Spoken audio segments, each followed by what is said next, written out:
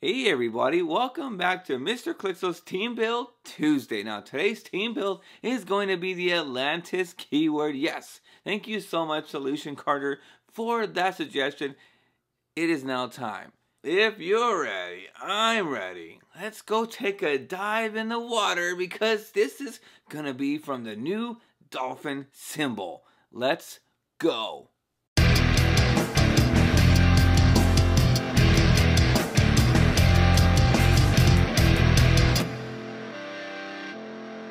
Alright guys, so here we go with Team Build Tuesday. Now this one I built for a casual type of game. Now it becomes a competitive, perfect.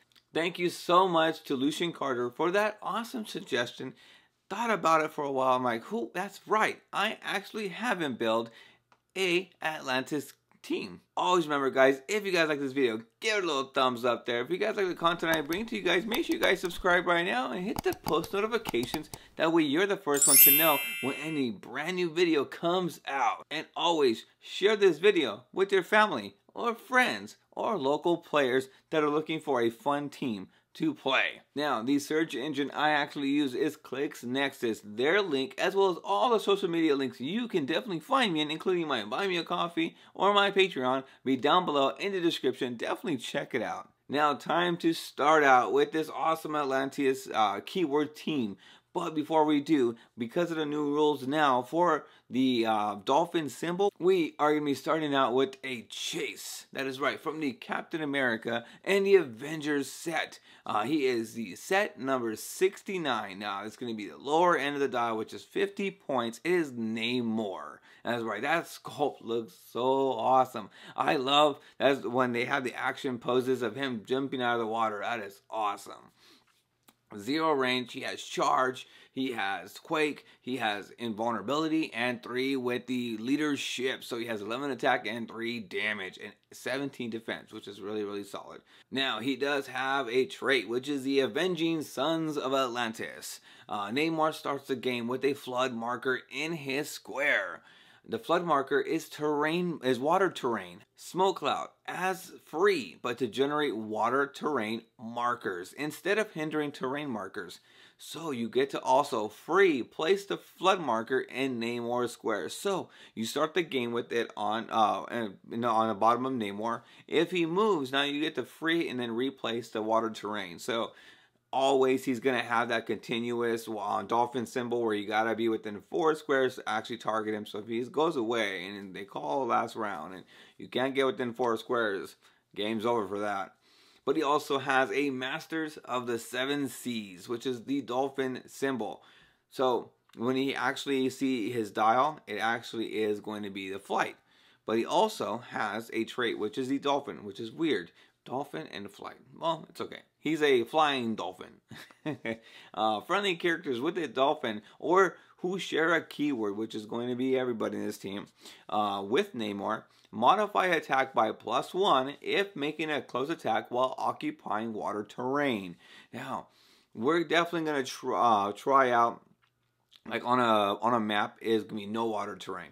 Uh, then we're going to start generating them just like he does right now with the smoke cloud, but as a free, and he only generates water terrain. Uh, that's where we're going to start getting around with um, charging everyone with that plus one attack. Now, he does have a special de uh, defense, which is toughness, uh, re rejuvenated by the sea. Toughness, regeneration, but only if uh, Namor occupies water terrain, which he's going to be occupying water terrain most, if not the entire game. Now, the next one here is going to be from the Rebirth set. Set number 28, Uncommon. It is Tempest. Now, Namor had the Defender's team ability. Tempest has the Titan's team ability, which we're not going to utilize as much. Which he is 75 points, he has charge, uh, super strength, uh, toughness and 3 damage with perplex. Now remember, with the whole thing perplex now is you cannot perplex damage. So he'll be rocking an 11 attack or a 18 defense.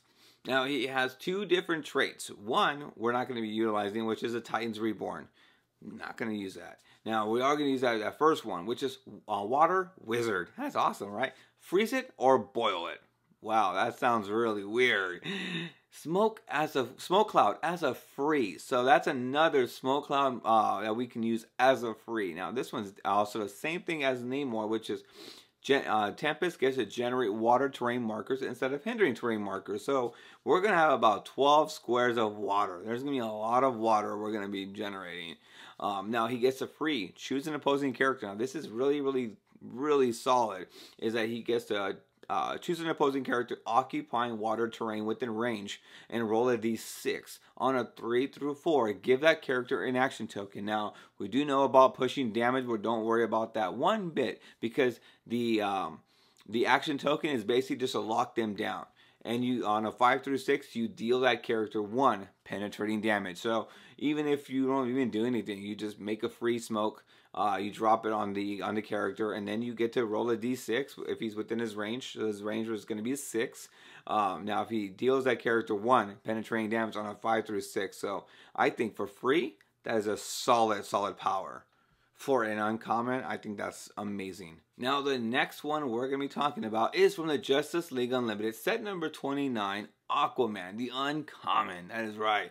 Now, he is rocking 60 points, the Justice League team ability, which I believe gives plus one, uh, plus one movement if he moves. So that's pretty solid for move action. Uh, zero range, dolphin symbol, uh, nine uh, nine movement, eleven attack, uh, seventeen uh, with combat reflexes. So if you have to run and get him, it's nineteen defense and three damage. Now he does have the standard Justice League uh, Unlimited, where you roll a d6 and on a on a six, you remove an action token from another friendly character with the Justice League keyword. that's 100 points or less.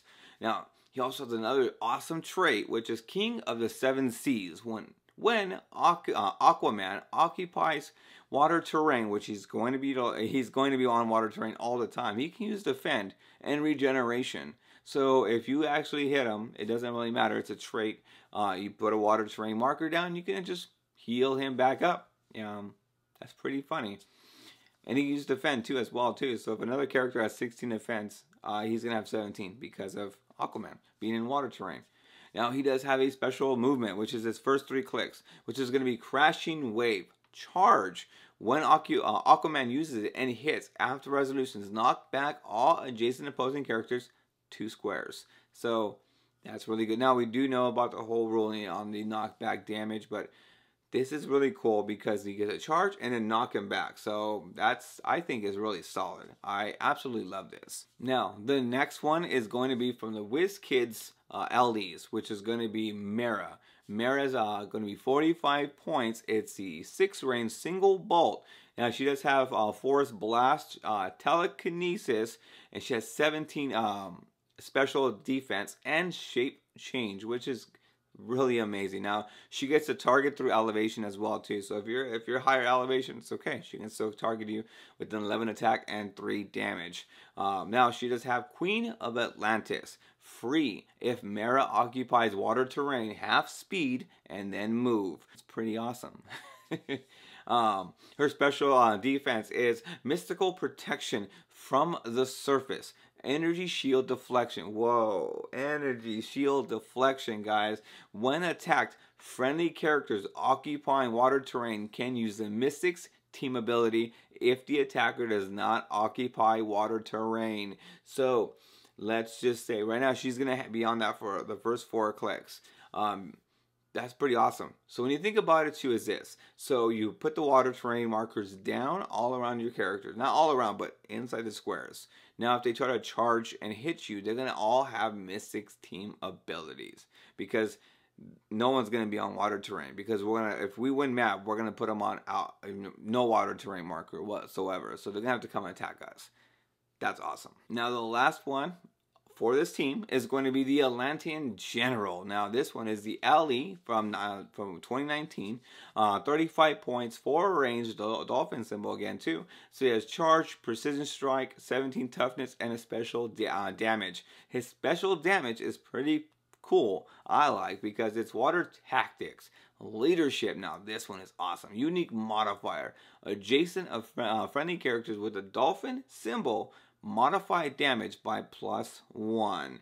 So everybody right now that's going to be next to him, which we're going to make sure right next to him is going to have the plus one damage. So I actually put two, uh, uh, two uh, space gems and a Mandarin ring for this team. So with that, I use the power gem. The power gem basically gives you plus one damage, or plus two damage and plus one attack. Because the power gem gives you range combat expert or close combat expert, they're gonna have plus one attack, plus one damage, and then you also get plus one damage from the power gem. So I was thinking about using this with Tempest. So Tempest would be rocking a really solid number and probably hit you probably for 5 damage. 6 damage because they're going to be right next to the Atlantean General. So he'll, if he's at 3 damage, he'll be 6 damage altogether. So that is a lot of damage output for that guy. Um, the other one I was talking about was the Zero Ring. So the Zero Ring would be Barrier. So let's say you want to put everybody in water terrain and you got to be within 4 to hit them. Well, you can basically just barrier up. Put your barrier markers up and just hide out and wait uh, until the next turn. Um, the other one you can actually utilize too is the Space Gem. Now the Space Gem I would put on the Atlantean General because it gives you phasing teleport and you get to passenger, it's a passenger too, and you get to move up your guys if they share a keyword with you. So uh, you move you move up your guys, you lock them, you put them down, zero ring you basically. So what you do want to do is you want to barrier up. And then once you barrier up, then you move up Namor or you move up two of your guys. And oh, you want to move up Namor because he's in a power action to barrier.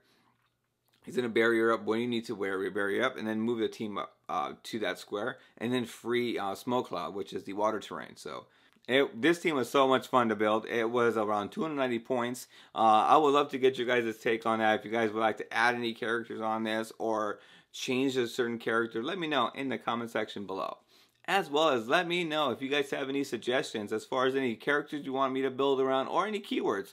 I, honestly love to hear all of your guys' awesome comments. So thank you so much to Lucian Carter. That was such an awesome and fun build. Uh, I spur the moment decided I'm going to build an uh, Atlantis team because I saw at your uh, that you posted me about the Atlantis, uh, Atlantis team. Now, if you guys like this Atlantis Keyword Team Build Tuesday, give it a little thumbs up there. A water terrain thumbs up. if you guys like the content I bring to you guys, make sure you guys subscribe right now and hit the post notifications. That way, if any brand new videos come out, you're the first one to know about it. And as well as sharing this video with your family or friends or local players that need help building a team. Now, I'm going to post up the links right below with ClixNexus as well as all of my social media links you can definitely find me in, including my monthly Patreon and my Buy Me a Coffee. So definitely thank you guys so, so much for watching. Thank you guys for so much for commenting. Uh, we are so close to hitting 500 subscribers. That is right.